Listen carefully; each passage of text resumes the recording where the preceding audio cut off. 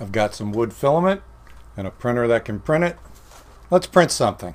It's Filament Friday. My wife is also an author, and she writes a storybook cottage series. She also builds these beautiful miniature houses from the stories in the book. So when she found out I could print with wood, she asked if we could make some custom furniture for her little cottages. So I showed her how to use Tinkercad. Now her first design was an easy one. It's just an end table with space for some miniature books. It started out with just a single block and then added a second block on, on the front. This is a drawer front, but not a functional drawer, just for looks. And then a knob for that drawer. And then another block was inserted, only this time made into a hole. That's where the books will go. So then we grouped them all together as one unit. And then to make it more visual for her, we changed it to brown so she could see pretty much how this is going to look when it's done.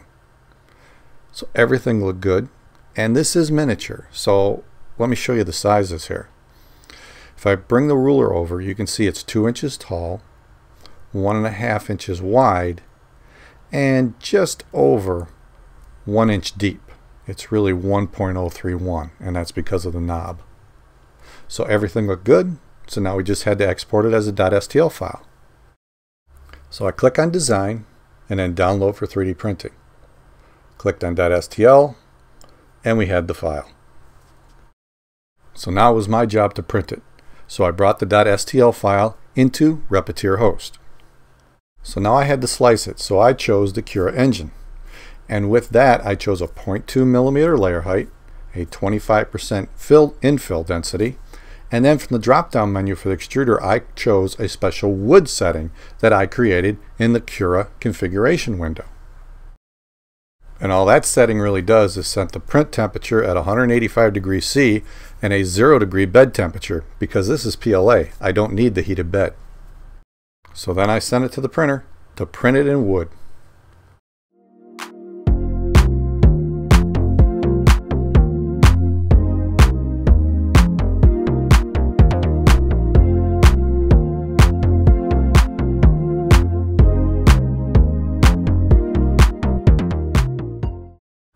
So here's the result. The one on the right is the wood that I actually sanded just a little bit.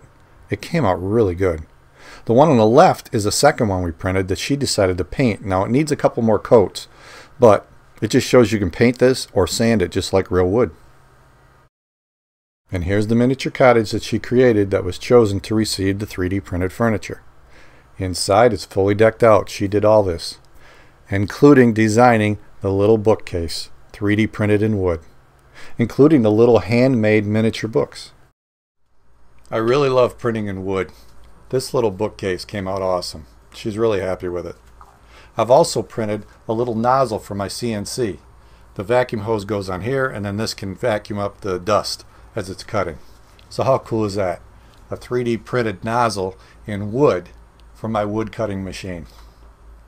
Anyway, that's all I got for now. If you like this video, give it a thumbs up. If you like my channel, please subscribe. That's That way I know you're watching. And if you want to help out the channel, as usual, please check out my Patreon page. Every little bit helps. And thank you especially to my Patreon supporters. You guys are awesome. I really appreciate it. It helps buy filament like this. And if you want to know more about all the Repetier settings and how I got this all to work on my reflashed Repetier machine here, stay tuned. I'm working on it. There's many settings that I changed and then changed back and I'm kind of re-stepping through everything so I can show you exactly what I did and I'm learning myself and a lot of it depends on what type of plastic you're running through the machine so there's that too and there is no basically one answer for all.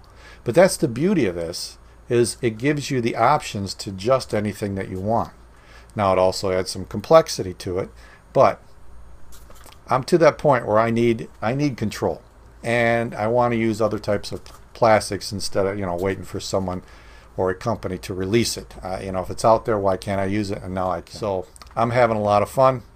I hope you enjoy these. Stay tuned for more. I'll see you next time.